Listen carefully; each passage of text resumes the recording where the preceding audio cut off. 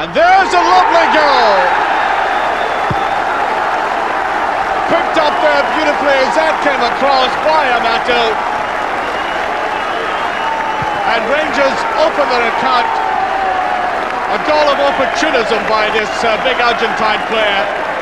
He's not, to my mind, an out-and-out striker, more a target man. But given that kind of opportunity on this night, even the best goalkeeper couldn't keep it out. The ball accelerating on this treacherous texture. Watch it dip and go. Rangers were to pull one off now at this stage, they would love it, but feel maybe slightly shamefaced about it. There's a beautiful goal! Charlie Miller, that does it. And you bet they are taking it well. A sense of relief, I think, better than anything else. That is two clean-cut goals we've seen from a side tonight, which has been decidedly stodgy, but not on two instances. That was Charlie Miller.